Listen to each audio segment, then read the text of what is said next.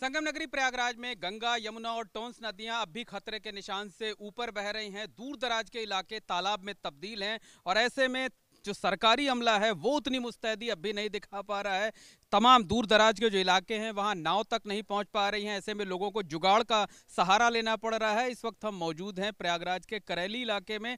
आप देख सकते हैं कि एक बच्चा, ये जुगाड़ से तैयार की गई थर्माकोल पर बाँस बांधा गया है और उसके ज़रिए तैयार की गई जुगाड़ की नाव के सहारे आगे बढ़ता चला रहा है।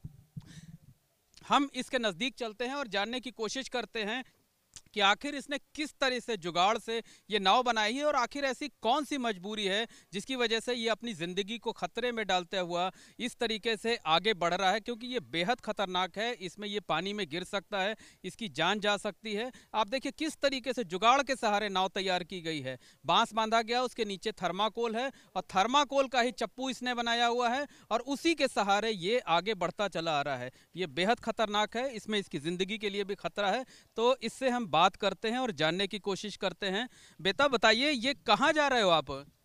हम जा रहे हैं दवा लेने।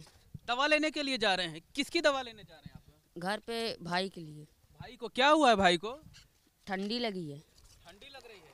तो क्या कोई नाव वगैरह यहाँ नहीं चल रही जिससे आप जाते हैं? नहीं कोई ले ही नहीं जा रहा है। हम अपना व्यवस्था करके आए हैं। तो कोई नाव और कोई सुविधा कोई प्रशासन की तरफ़ से कोई मदद नहीं मिल रही है नहीं।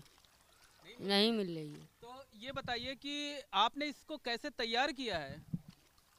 लहुआ हुआ बाँध के इसलिए हम जा रहे हैं दवा लेने।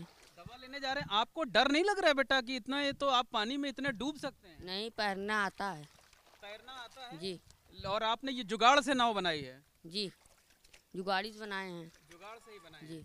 ठीक है, आप जाइए, दवा लीजिए और ये आप हमारी तरफ़ से ये दूध ले लीजिए, बिस्किट ले लीजिए और ये आप पीने का पानी ले लीजिए, ये लेते जाइए और अगर कोई दिक्कत होती है, आपके भाई की दवा नहीं मिलती है तो आप हमें फ़ोन करिएगा, हमें आप सूचना दीजिएगा तो थोड़ा सा हमारे नाव वाले जो है, थोड़ा दूरी बनाइए ताकि हम एक बार फिर से दिखा सकें कि देखिए ये कितना खतरनाक है और किस तरीके से जुगाड़ से ये नाव बनाई गई है।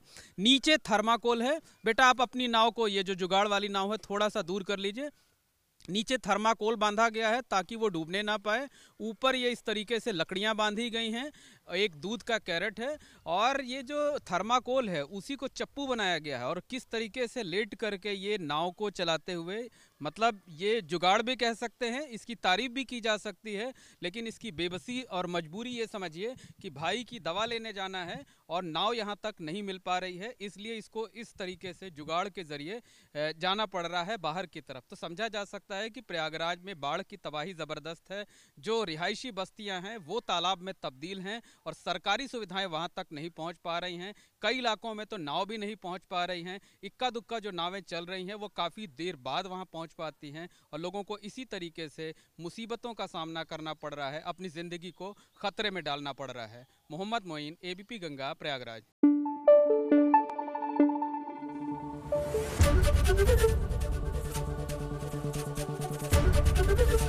एबीपी गंगा खबर आपकी जुबा आपकी।